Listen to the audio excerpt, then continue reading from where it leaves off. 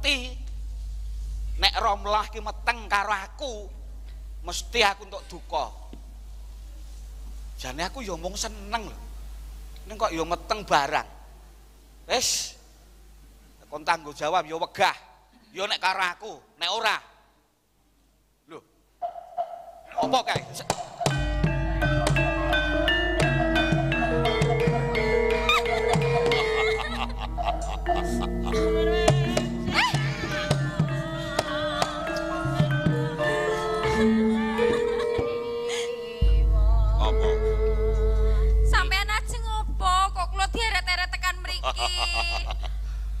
Kok arep ngopo piye wis genah?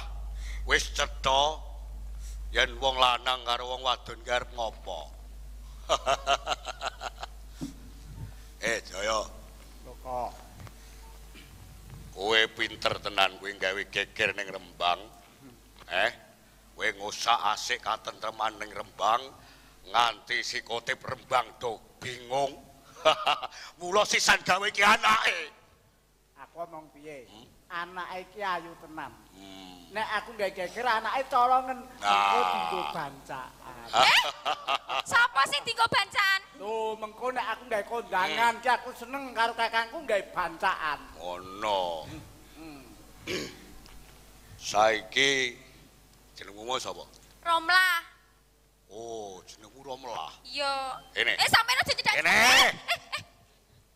Iki. Gosek. Eh, kowe wis ndek bojo apa durung? Durung ndek bojo. Tenan? Tenan. Durung ndek bojo. Ayo ngono. Ayo, ayo.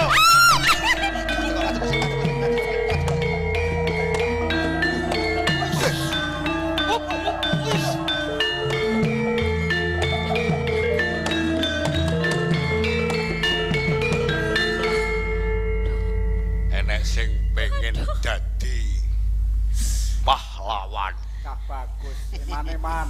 Sapa kowe? Hmm? Kowe wong loro bradat pengen prawoso karo wong wadon. Kowe ora ngerti. Seneng ya seneng, nek nek ora gelem aja mbok peksa. Jane mau wis gelem. Gelem kok mbok uyel-uyel. Lho. Lah yen ora duyul-yul piye? Eh, Kowe iki jenenge kono moh. apa ngerti kowe yen kono mau jane gelem ning gandeng ning kowe? Ngono. Hei, seksine iki aku Nah, nek lho dheweke gelem aku nunggoni. Ora ana kanca kok dadi seksi iki. Eh. Ah mesti kowe belani. Sik jenengmu sapa? Jenengku Loko. Loko. Hmm. Jaya. Kowe sumingkir, Nggih, sumingkir. aku mbok kon sumingkir. Eh, Kowe durung ngerti sapa aku.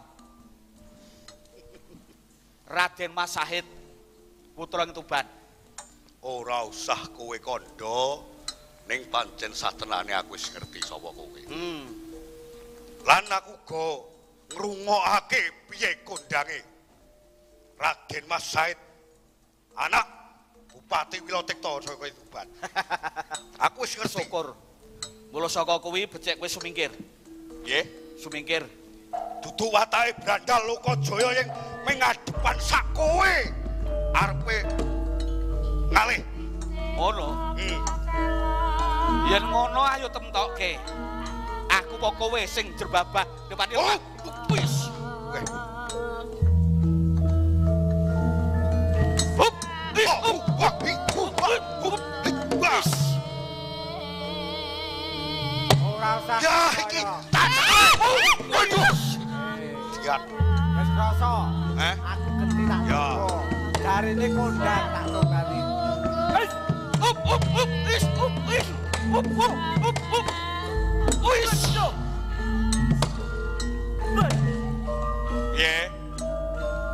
lumayan.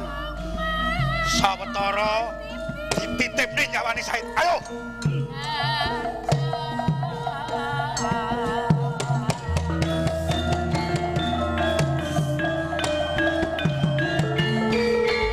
Kowe ora apa-apa, Romlah. Aduh. Aduh. Awakmu gene.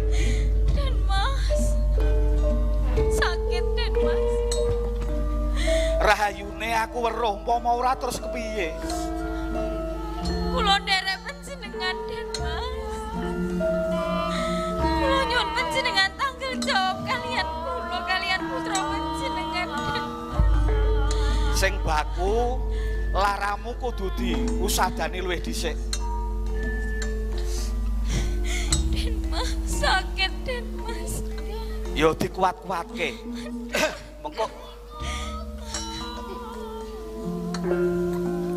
Monggo monggo.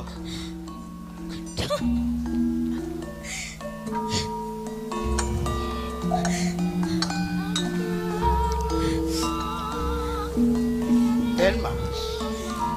Nggih, kula. Menapa mekaten menika pasinaon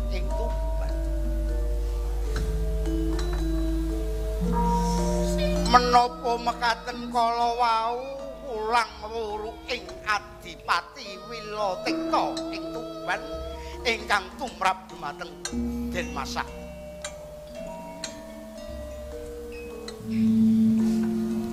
Ingkang pun kersakaken pripun? kedahipun panjenengan boten tangut perkawis menika jalaran sampun cetha. Menawi to Den Masahid wonten sambungan tresna kalian anak kula Romlah saha bradat anak kula Romlah. Nur sewu. Nek perkara tresna nggih kula lakoni. Ning nek bradat kula mboten. Kanthi kasunyatan Romlah kalih sedika. Ning sampean ngertine kula bareng karo Romlah. Nggih. Ning tenane Romlah dibradat liyan. Rahayune kula. Denangi lajeng kula nulungi kawontenipun Romlah. Dika kumbi monggo. Tegesipun nek dika selak kena nanging kanthi kasunyatan bukti panjenengan kalian Romlah. Nuwun sewu, Pak. Ngono ya kena. Ning kula ora bradat sepisan meneh kula kandha, aku ora bradat. Yen Mas. Dika menika dados patuladanipun sedaya para wiranom ing Kadipaten Tuban. Dika dadi kaca brenggalaning kabeh para nom-noman ing Tuban. Menawi dika tumindak ingkang kados ngaten, banjur besok nom-noman Tuban kuwi kaya ngapa tumindake? Nuwun sewu. Nggih. Monggo anggenipun ngendika. Duwe. Ngomonggo oleh ngomong. Ning sing baku kula niku ya duwe gegayuhan piyambak. Aku ya aku, sahid ya sahid. Monggo. Kula ora bakal maelu sampeyan arep ngomong napa. Nggih. Ning sing baku rehne anak sampeyan niku lara. Monggo sampeyan openi. Nanging perkawis menika kula ora trima. Kesanipun, Kula badhe munjuk matur wonten kersa dalem Adipati Wilotekta. oh ngaten. Monggo kula derekaken. Ayo Romlah.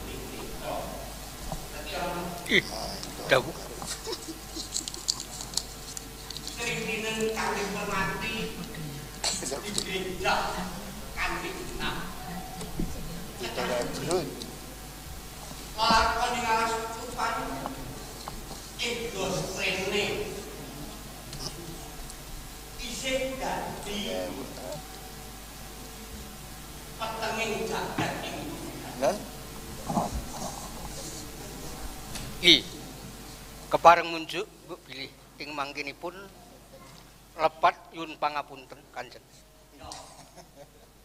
kula mboten kaijenan ngen kula neliti. Sebab kula ngirit sapregodo prajurit saking Tuban lumebet dhateng ing wana ing kamangka. Tengah wana menika mboten wonten jalma setunggal kemawon omyak ing kawula menika brandal-brandal makempal wonten satengahing wana ewadene kula sak pragoda menika mboten pinanggih setunggal menungso kemawon mboten kanthi menika segenipun. Adi Nuwun sadwa timbalan.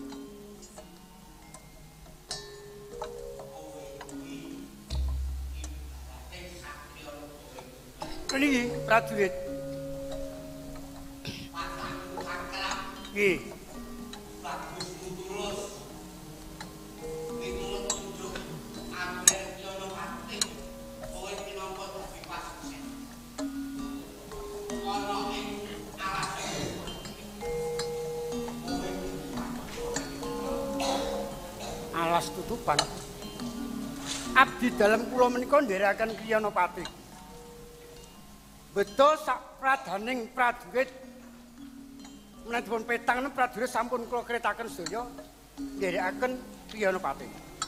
Namung mboten wonten menika setunggalipun pawongan ingkang damel risak. Mboten wonten tiang-tiang ingkang ngrempon. Menapa malih kondangipun brandal-brandal. Mboten kekirangan tidak. sampun panjenengan paring menapa kemawon.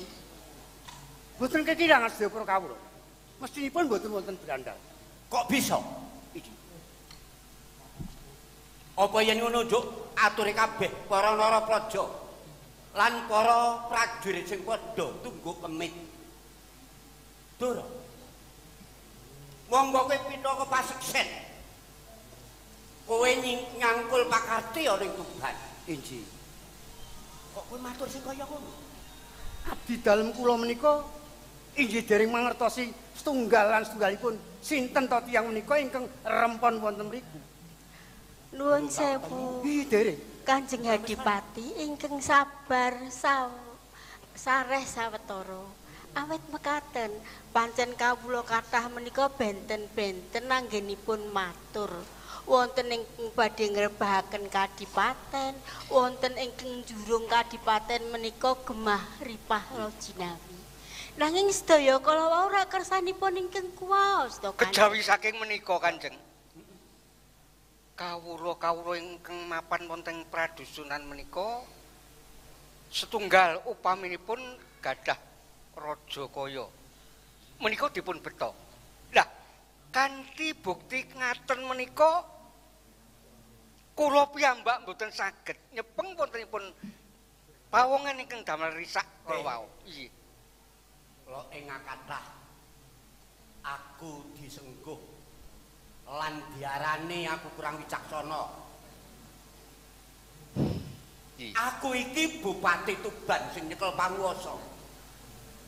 Ning yen kawulaku prajuritku sing jaban negara lan jero negara isih padha selintat-selintut. Aku isih Apa mergo aku kurang wicaksana mbek para mata? mboten kirang Apa aku kurang adil? mboten kirang Kanjeng mboten kirang? Ibu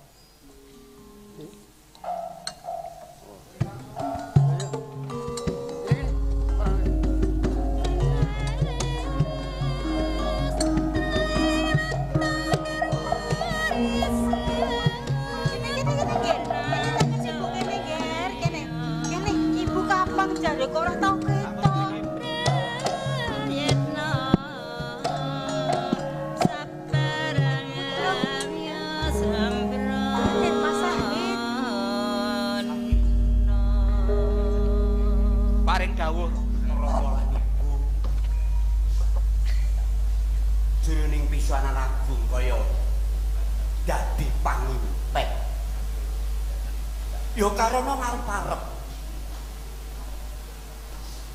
Seliramu kala mangsane nderek pisanan agung ning cetane kowe ora katon. Iki mau tindak ngendi rene? Nggih, kepareng matur lepat nyuwun pangapunten. Ya ya. Tenanipun sawentawis kula mboten sowan wonten ngersanipun Rama saha Ibu. Kula nembe cangkrama. Cangkrama. Awit kula kepengin mangertos sepinten jembare kadipaten ing Tuban. Bagus. Saha kula namung kepengin makempal kalian sedaya para kawula. Kaya ngapa to uripe sedaya para kawula wonten ing Tuban? Kowe kepengin ngraketake Tenanipun ngaten. sak bajune Lajeng Rom. Sak sampunipun kula saged makempal kalian kathahing para kawula. Kula saged mastani. Kula saged narik pawukon mbok bilih. Wonten Tuban menika tenanipun dereng ayem tentrem. Nyatanipun kathah para kawula ingkang tasih nandhang keserakat, kirang sandang saha kirang pangan. sahe Kula anak anu aning kita tegese anak kang mursid upama kowe tumindak kaya ngono kanthi lahir batin jalaran kowe mau satriyane negara Tuban. Tangdanging Rama lan Ibu kilo kenek kowe nitip ke pelabuhan saupama kowe tindak cangkrama nitip pirsa lan nitip sepira jembang citing negara wewengkoning Tuban Rama lan Ibu seneng. Hmm? sik sik. Lah banjur kae Nyuwun sewu. Nggih. Warung Radi Majeng kersanipun. Nggih, sampun. Radi maju ki mawon. Nggih. Maju, maju. Ampun dipun mestani kula menika tangguh jalaran kula dereng wanuh. Eh, Nggih. upama kula nungkak krama menawi nitik pengagem panjenengan menika kados dene wong bisa. Leres. Panipun sampeyan kuwi sapa? Nami kula Kotip. Sinten? Kotip. Krunguku petik. Jenengan Ya niku ya menika abdi dalam wingke. Kotek. Nggih. Muhammad Kutip. Yo nyun sewu ora dicakok cengengesan. Saya tuwa ki aku saya rupa. Nggih, nggih. Kejabi nang anu menawa mireng-mirengan. Ngaten. Pak Kotek Kula sugeng. pangestunipun Kanjengi wilujeng kula. Sembah kula katur Kanjeng. Ya banget panrimaku ra liwat puja pangestuku ditampani. Nggih. Kajaba saka kuwi kaya dene kaget rasaku kowe minyak. Sagung siniwaka ing Tuban malah kepara bebarengan karo putraku Raden Mas Sabit. Kersane ana apa? Nggih, nyuwun pangapunten Kanjengi. Kula badhe matur wonten ngersanipun Kanjeng Adipati ing Tuban. Menawi kula menawa gadah anak wedok.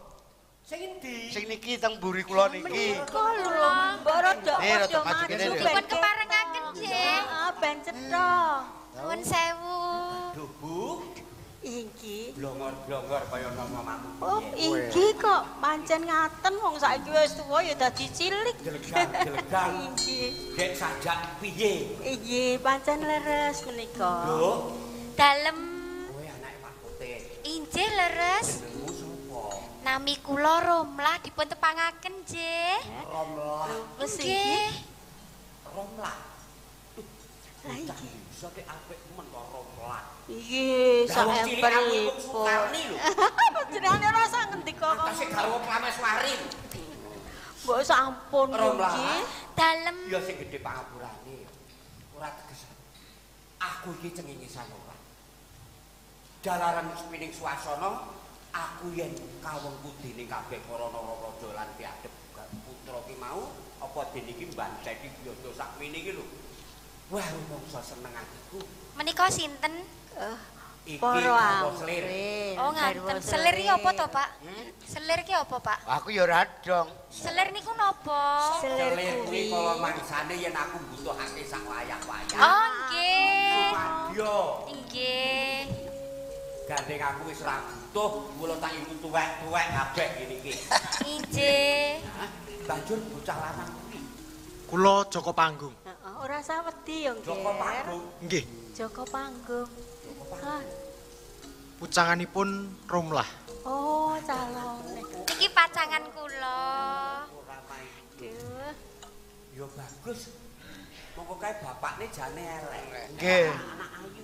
Nggih, jane bapakne elek mung sing apik polahe jane. Ah, Sapa mau?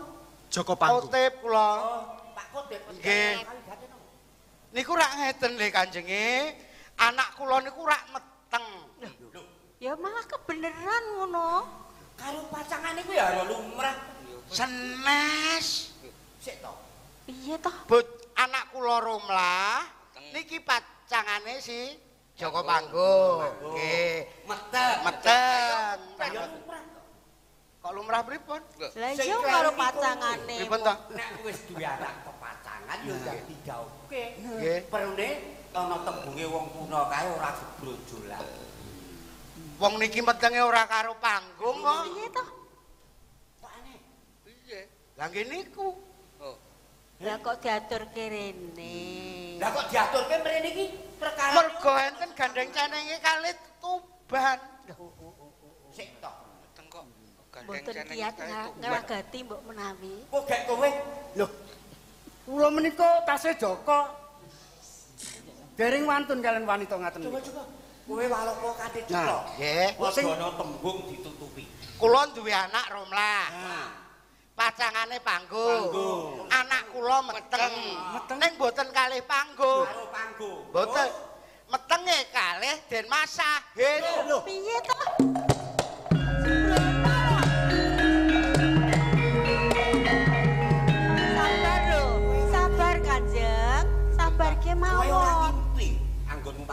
Mboten tilem mboten tahu. Kok aneh toh putraku kok Mila menika Kanjeng sowan kula wonten ing Kadipaten Tuban, kula nyuwun pengadilan. Oh, ngono. Nggih. Omlah, Dalem. gandeng sing nglakoni metengi kowe. Nggih. Tenane karo sapa? Nggih kalih Den Mas Sahid. kok sakit inggih Kanjeng? Kok aneh sanget toh menika? Bingungke lelakon iki. Pripun iki? Sahid. Kula ro. Tenane mono ora mentala romo ki mau. Nyawang lan ngrungokke lelakon sing tumunung iku. Lah. Lho upama iya. Upama kelakona genah. Kuwi romo ora duka. Ya kaya ngono kuwi tekse wong bagus sing tulus. Tumindak kaya ngono kuwi romo kepareng ngentukake. Ning wong Jogaya bocah sing dihukum. Mengko ndak akhire bingung. Hmm? Kuwi ngetengi rom lah. Aja kewo. Matur wae yo, Ger. Mboten kok. Lah niku meteng dhewe kok. Sik sik to. Kok meteng dhewe? Kae iki sing prawan. Kok meteng dhewe? Lelakon iki ora kaya ngono kuwi sing dikarepe. Nggih. Goro waleh menapa Rama tenanipun waune kula niku seneng Seneng. kalian Romlah. Nah, bagus. Ning Terus? ning kula menika mboten gagas. Mboten nginten mbok bilih Romlah menika meteng. Dadi tenan. Ora gagas yen kedadane romlah ki nganti meteng. Awit ngaten Rama. Tenanipun nalika kula mertinjo wonten dusunipun. Kula saestu sesambungan kalian Romlah. Ning saben-saben kula menika dumugi dusunipun. Sak jaluke Romlah niku kula turuti. Oh, oh, oh, oh. Jaluk sandangan kula tumbaske, njaluk mas-masan kula tumbaske. Sasat sedaya panyuwunipun kula turuti. Nggih. Bu, Terus pundi? Lho kok ngaten kok terus putra kula nggih putra panjenengan. Pancen leres. ala beciking anak menika kula wentahe wong tuwa. Nanging sak menika rak sampun ageng menapa kula badhe ngetutaken, menapa kula kedah ngertosi rak mboten saged to Lah Kanjeng. ben nganggo ngugung marang kahanat. Kok ujo nganggo sarana bondo kedadiane rak kaya ngene. Inggih pancen Gawe leres. wirange wong tuwa. Inggih pancen leres. Kula nyuwun pangapunten Kanjeng. Kowe tresno. Nganti kedadian meteng. Nggih, Teneng. waune. Kok wow, lho saiki wis bobot, Ger. Waune. Iki njut kok padake apa kok waune iki? Nggih, waune seneng ning sakniki mboten kok. Jalaran apa? Nggih, nuwun sewu. Kula niku wong lanang. Nek cara kucing niku cepaki gereh tetep nggih dipangan. Hmm. Saya-saya. Nalika semanten kula umpamakaken nggih. Kula niku jajan sego pecel ngoten mawon. Hmm. Kula bayar. Segane tak pangan, bar pincuke tak buang. Niku rak mun lumrah kok. Napa ya kul- kula kudu tuku karo sak bakule rak mboten. Ini nyatane kedadian meteng. Lah ning kula pun bayar kok, Romo. Kowe bayar kok pangan sak pincuke nyatane kedadian meteng. Lah niku salah kok meteng niku. Wis. Kanjeng. Lajeng kados pundi wong menika nggih wonten calonipun mekaten kok. Ngene. Lan malih Romo. Apa? Nggih nek wetenge kalih kula. Rehne menika nggih enten pacangane sing jenenge panggung. Lah nek kalih panggung terus dipopoke ten kula, sinten ngertos? Ruplah, Dalem, kowe wis tau karo panggung. dereng, Durung tau dikapak-kapake. De- dereng. Durung. Nggih. Pak, Nun. Tau si panggung karo Romlah manggon ning omahmu. Mboten nate, Ndara. Kowe ngerti kedadian iki ya karo Raden Masake. Nggih. Kowe weruh dhewe. Ha wong anak kula kula weruh niku anak kula diberada diodel-odel. Lah wong jarike ucul kabeh niku nek ora diodel-odel pripun sukan? Kok ya mentolo nganti munculi jarik barak. Kok ora mau biyen ora tau kaya ngono. lho. Tenan Ramamu ki jano anteng lho, lenes lho. Jane Rama ki seneng. Upawa kelakon kowe seneng karo Romlah ki Rama seneng gandenge wis duwe pacangan. Rama ki jane rada. Anggonmu ngujo, hawa, nepsu. Kuwi besok, kuwi besok yen ana apa-apane Rama ra melu-melu. Yen kowe kepengin ngudi kawruh lan ngilmu, aja ana ing wewengkon kutha. katimbang kuwi jejeberi ana lakon kaya iki Rama Wirang kowe kudu lunga kudu lunga ning Rama lan unduk lho ya kowe kudu lunga saka ing Tuban Kanjeng, kok kados pundi ta putra menika namung sae ingkang kakung.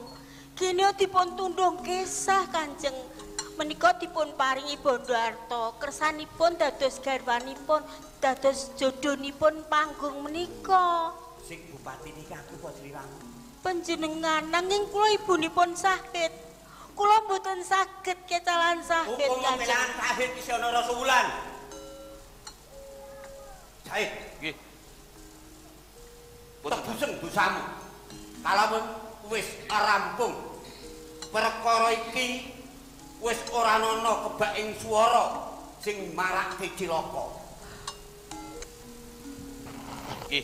Rama menawi kersanipun Rama kados ngaten. Tenanipun kula kedah ninggalaken Tuban. Nggih. Kula namung dederek.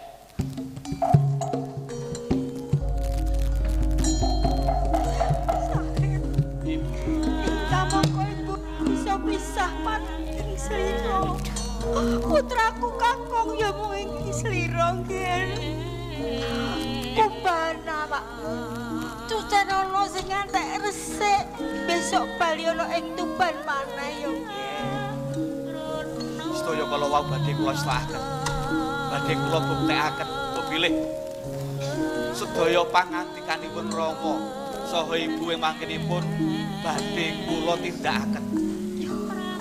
Ya, muga-muga rahayu. Rahayu ingkang pinanggih ya. Kepareng pamit. Sahet.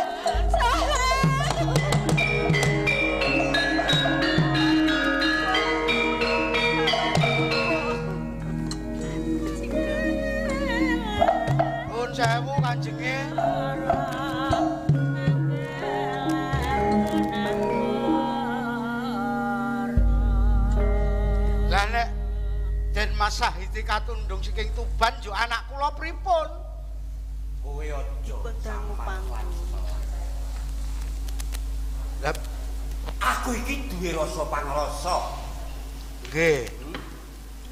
Kalamun besok Romlah ngelarake pun nang jabang bayi senadyan tok kuwi karo sakit. Nggih. Nang ganti pacangan si Bang. Yen ana waragan lan apa apane mengko, aku sing tanggung jawab. Tak aku lahir pun nang jabang bayi putuku, putuku seksenono. Oh ngaten nggih. Nggih nek ngoten Kok nggih. dipun ngendikani to Kanjeng kersanipun marem. Panggo Nggih. kowe senajan bocah desa bagus tulus. Kowe tresno tenan karo Romlah. Nggih, tresno. Sesuk ndang dijak. Se dinikah. Yen ra duwe waragat tak gawani bondo donya lan arta. Nggih, Udah. kertos. Kowe ra trimo to? Ya wis ora apa-apa, idep-idep kowe angge-angge orong-orong ngono wae. Lho apa kuwi? Kok anggang Orang nggih, ora melu gawe ning melu ngomong ngoten niku mawon. Ah, kok pintere, pintere. Kok yo dadi yoga. Kula mungkin nek dadi yoga nyaingi rewang dakan. Yo. Nggih. Saiki kok anu anu. Ngaten. Oh, ngaten nggih. Nggih, bareng ajenge pamit. Niki nggih. Wae yo, ora usah disu. Apa ketika